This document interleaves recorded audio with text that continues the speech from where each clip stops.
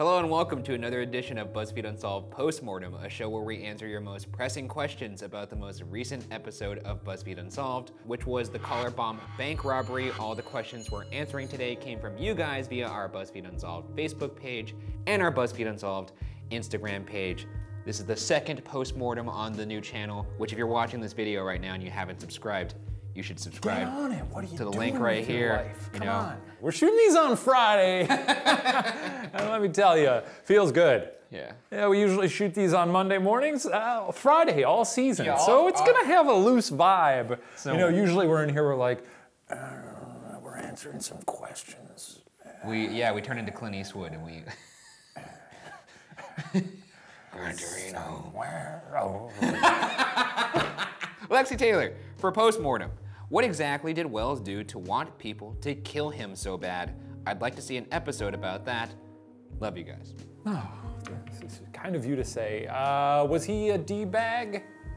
No, he was a, for uh, by all accounts, he was a very docile man that just kind of kept himself. Didn't have many friends. This is actually not in the episode, like I mentioned before. Jessica Hoopsick said she mentioned uh, his name to Kenneth Barnes as a, as a patsy. I do believe that to be true. I don't understand why she would lie about that. Oh. So it's not so much that he didn't he did something that made people want to kill him. It's just that they needed a patsy. They needed somebody to take the fall Yeah. and and die. you know perhaps. what? And he he fit the bill, which is sad. You- Why don't you go over to Grahamtown? Oh, let's take it over again. It's a little brighter over there. Here's from the Minty Minsuga. All right. To start this off, I loved the video. I wish I had some za for my day. I had all four wisdom teeth removed today, still recovering, but watching a new true crime really made my day as I sat with ice packs and stuffed my face with chocolate ice cream and mac and cheese. Not too vigorously, unfortunately.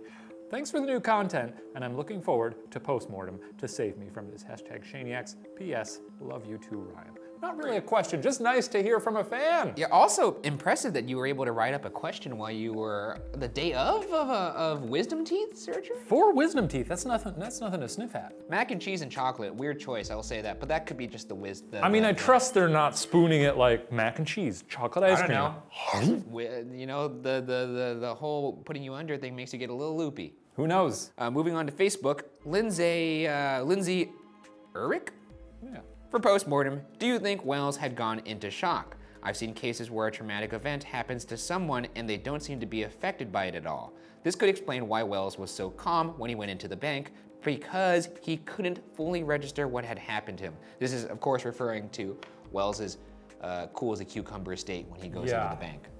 I, I had wondered about this too, and I've thought about it. The more, and the more I think about it, it is very odd for me that he was so calm. I don't know, but people respond to um, trauma in different ways. Perhaps. Especially if, like this in particular, sure, they put a bomb around him. You know, you got a bomb around you, they say, oh, the bomb's gonna explode. You don't know for sure if they're telling the truth. So you're probably very, very concerned. Well, I'm definitely not going to hedge my bets that they're not telling the truth. I'm going to, you know, proceed with some, uh, you know, I'm going to go as fast as I possibly can. Yeah. And that even in, and even in just that, just trying to move as quickly as you can through the task, you're going to come off as not calm. What if it actually did have an effect on him, and the effect was that he was calm and collected? He goes If he was like, like- look, the only way I'm gonna pull this off is if I just keep my fucking shit together. I, I'm sorry, I didn't mean to swear. All right, where are we go? Let's go back to Grahamtown, huh? Here's from Gretchen O'Neill.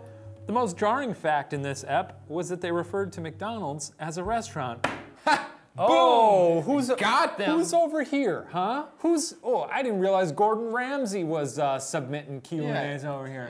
I mean, I, you know what? Who are you over here with on your sitting on your high horse, too good for a chicken nugget? Also, you're you're protecting, you're protecting. I'm protecting. Mickey D's. You're protecting Mickey your- D's, baby. I think Shane's in the pocket of Big McDonald's. That's what I think. I'd love to be.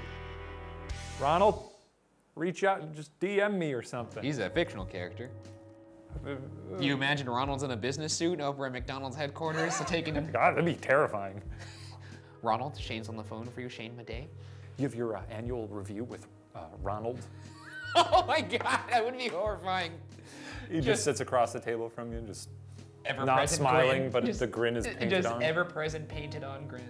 Which is just a metaphor for corporate, just like interactions anyway. I really like the way you defended us in that postmortem. Let's get back to Facebook. Okay. Uh, this comes from Teresa Mastrodonato. Oh, Oh, Teresa! That's a fun name. I wonder why it took the bomb squad so long to get to them. Was there another bomb incident going on at the same time? the graphics you used made it look like the police were just standing around having a nice chat with each other. I'm sure that's not what happened. From what I read, it seems like the police were trying to confirm that this man was not insane and that he actually had a bomb on his, you know, collar. It Seems like a weird risk to take, to just, like, just get, just call out the bomb boys. Like, how often are they getting bomb threats that they gotta be like, where's the robot? Where, where do we put what the is robot? the? That's true. What is the bomb squad doing on a daily basis in Erie, Yeah. Pennsylvania? They're fucking chilling. They're waiting. They're, like- waiting for one call. This is a sweet gig. Yeah. I'll tell you what, not a lot going on in this town. Let's order some some uh, nachos. Let's get those. they probably got a book club and everything. They got, like, Probably the most well-read uh, law enforcers in town. they're probably like sitting in the facility and they're like, "What's that noise? Is it? Is that the? Is that a phone? Do, do we have to? Do we have to do work? Do, This is the bomb squad? a bomb? Oh. Oh, oh, oh, oh, this is it, boys. oh, just like we practiced. What's a robot? What do you mean it's out of batteries? This is from Amy Nielsen. You're kidding me, right? Just watch the Netflix doc, Evil Genius. Came out a few months ago. It's incredible. We're not kidding you. We're not kidding you, Amy. We made a video on it. Uh, you it's know, fully produced. It is. It is. You watched it, I think. Uh, it is on the on on the on Bun. you know, here's the thing. I think the Evil Genius special is great. I think you should, if you watch this episode and you're like, man, I wish I knew more. This is the Evil Genius is a great companion piece to this. In fact, I would say that we're a better companion piece because they covered it more uh, in depth. We did it broad strokes. Are there as many yucks on that one? No, there is not. Because we the the BuzzFeed Unsolved difference is you're gonna get those yucks. You're get, you're gonna yuck it up, yeah. Yeah. Unfortunately, sometimes it's not um, appropriate. now, as you recall last week, and as we're doing all season, we're really gearing up for Bergara Guitarra, We're which, not. which is a big, um, a big thing that's going to happen at the end of the season.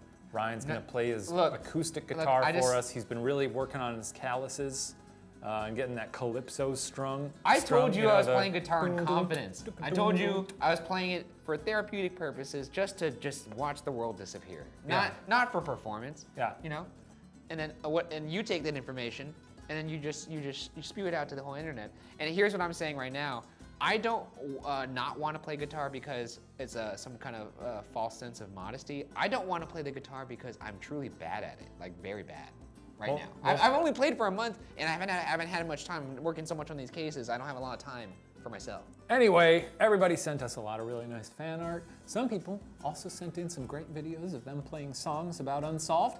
And we've got one of those now that we'd like to share because it's very good. Hashtag Bergara Guitarra that opened up for other Bergaras out there to play the guitar. Yeah, not yeah. me. No Shaniacs. And not me. And not you, but not yet. Not yet. No, not me. Not me. No, I he's gonna do it. I once again could hear you. Once again could hear you. Let's roll It's the gonna be incredible. Let's roll the clip.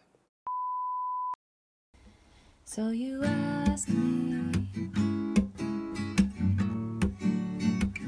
Hey ghost, are you dead?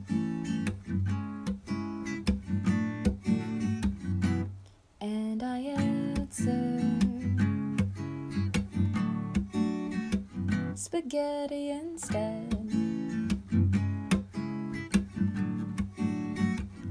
According to your radio, you went to a priest and sought holy water. You freaked over noises and cried, Help me, Father. You stayed overnight in a house. You shot a burrito couch, and now you're tired of stories about hot dogs. Scared the wits of ghoulish dialogue, and now I gotta explain my absence where it remains.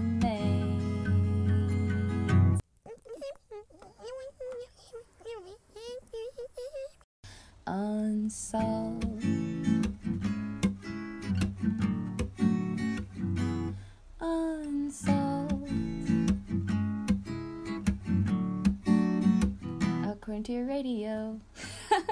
That's good. That's good. It's, it's really well done. Yeah. Uh, uh, far greater than anything I could possibly achieve. Uh, she had rhythm. She had a great voice. uh, instrumentation was great. Yeah. Everything was great. Uh, I'm proud to have you on the Bergara team. Ain't that sweet? What do we got coming up this week, Ryan? Uh, ooh, this week. It's an international case, I could say that.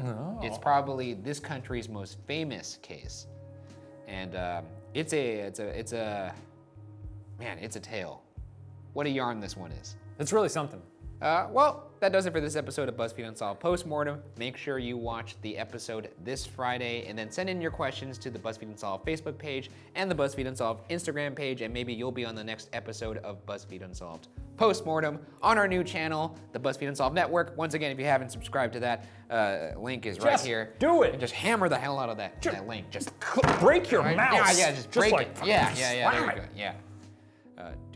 Our weekly Q&A concluded. I now welcome to you to the part of the show we call the Hot Dog, a hot dog saga commissioned by Ryan Bergara. you just give me a breath? Just give me a breath. Give me a breath. by Give me a every breath. single Give me a breath. And if you don't like it, you can kiss my apple. Just let me just let me just get like a just like a breath. Just I need to prepare myself for the dumb shit I'm about to hear. Okay. Previously on the Hot Dogga, a lot happened. Watch the episodes. a beautiful tropical island, dappled sun falls onto the face of a peach named Joblet, relaxing on the sandy shore. His brows are something else, baby. A more ideal situation I can scarcely conjure. The life of a peach. Who can beat it? He takes a sip from his pina colada. From the tropical brush, a holler. Uh, uh, hey, Pops. Mm, Garce, my boy. Garce, a young peach, runs up to his father. Behind him, a lady peach.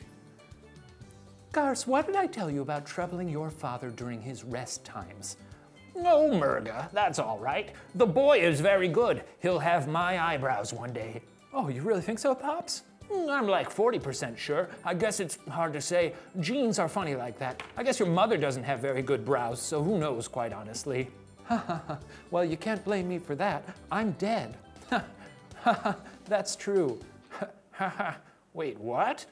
Oh, don't you recall, Joblet? I was blown to smithereens on that transport ship during the Chili Wars. You buried my pit. yeah, she sure is dead. Wake up, Dad. What? No, no, that can't be. Wake up, honey. No, I won't believe it. My brows are still immaculate, but you can't. You can't be. I said, wake up, you bum! Joblet waits with a start on the brig of the starship Minestrone, surrounded by a charismatic, tough as nails holographic corn, a cocky flying ace chicken, and Smeech.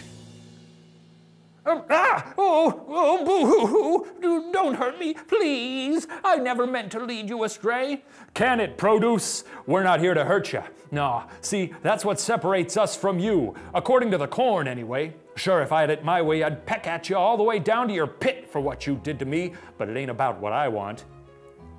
What do you. Just check to see how much more is left. Oh, quite a bit. Um, whee! That's Smeech. Uh, Ooh, Smeech. Good thing you. I I wasn't sure. do you remember him? No, I don't care. Oh, he's really good. He's a fan favorite. The doctor's right. We're not here to hurt you, and I think that's evident considering we just let you take a three hour nap. Oh, that was three hours? I told you to wake me up after 10 minutes. No wonder I'm groggy. I'm gonna pluck out all my feathers and shove them down your throat, I swear to God. No, please, no. Oh, God, oh, no, my brows. Whoa. Doctor, some restraint. Listen, Peach, the doc's a little peeved because you ruined a large portion of his life. That's only fair. But seeing as I set him free, he's promised to leave you untouched so long as you help us find our friends. Oh, you mean Jean and Mike Soup? The starship Minestrone shudders as her system blinks violently. Don't you even utter his name, or I'll suck your ass out my airlock, you fuzzy fraudster. Oh no, what was that? Well, okay, that was the, the ship. She, she was very close with Mike Soup. Listen, everyone on this ship, except for maybe Smeech, wee! We all want you dead, including me. But I'm gonna let that, I'm not gonna let that happen so long as you take us to our pals. So start talking. Oh, okay, okay. They're en route to the Onion Station Space Buffet. The luxury space station vacation destination? I almost bought a timeshare there before the war. Nice property, good square footage. Why didn't you pull the trigger? Cold feet? I don't know. I was an egg. Look, all I know is the Dark Master instructed us to bring them there. That's all I know. I swear. I swear on my brows. Well, your brows are your, well, your brows are turds now, FYI, but I'll take your word for it. Minestrone, set a course for the Onion station. Baller. The Minestrone powers up and zap. What awaits our intrepid heroes at the Onion station? How are Gene and Mike doing? And Lil Pam? What's the Dark Master's deal? Anyway, all will be revealed this season on the Hot Dogga Showdown at the Space Buffet, only on Bun. Bun is the name of the network now, so it really ties in quite nicely to what the what this is all about. Uh, You have any questions?